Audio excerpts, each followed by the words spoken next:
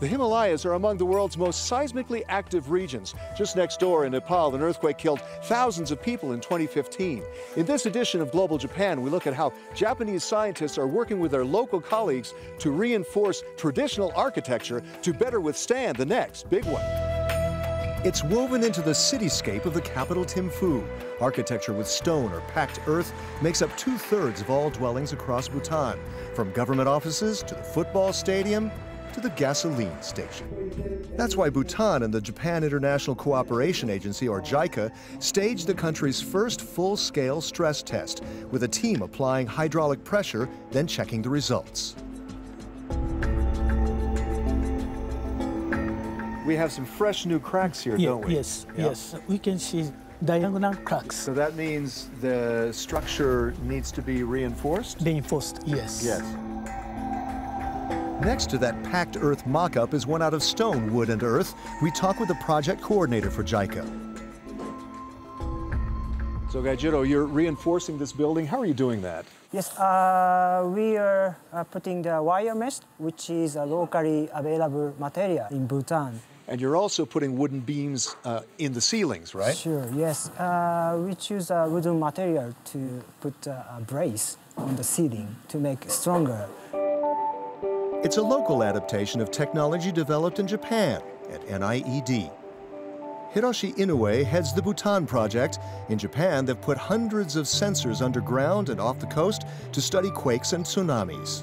Our 800 high sensitivity stations are used to detect an earthquake as early as possible and uh, process the data uh, in seconds.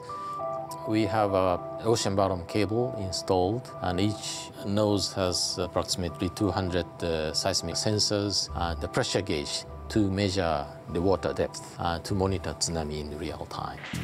His colleague at NIED, Hiroshi Nakazawa, works with full-size mock-ups of buildings to do 3D tests for earthquake resistance. その作ったものが、えー To evaluate the earthquake resistance realistically, we have to go on site after it happens. We can't think about a solution if we don't study how they collapse. This is why we use this big experimentation machine to precisely hypothesize the causes of the destruction and to find solutions. Nakazawa has been studying traditional gabion stone houses of Nepal, where the deadly quake in 2015 devastated mountain villages. We noticed that the gabions are highly resistant to earthquakes, and the reason they collapsed was they were not well plastered, so I studied how to use this type of construction to create better structures.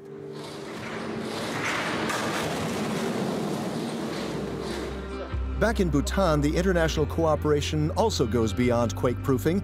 We spoke to the country's chief architect on the project. So, this test we saw today is part of a larger project, isn't it? Well, besides the scientific study of the composite masonry that you saw this morning, we are also trying to understand the seismic hazard mapping of the entire country. At the Geology Department is a real time map of sensors across Bhutan, a project backed by JICA and World Bank. It was an event that occurred in China.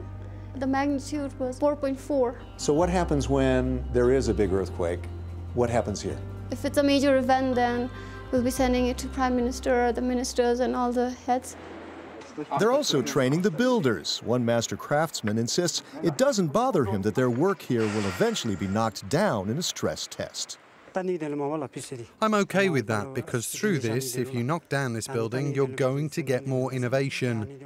They put mannequins inside, so through all the results, this will also save lives. We speak with architect Pema, whose family owns this 100 year old house.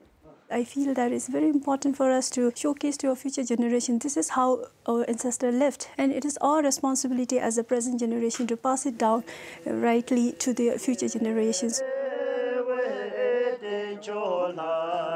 That's all for now on Global Japan. From all of us here on the Euronews team, we say Shule Log Jege. See you later, and thanks for watching.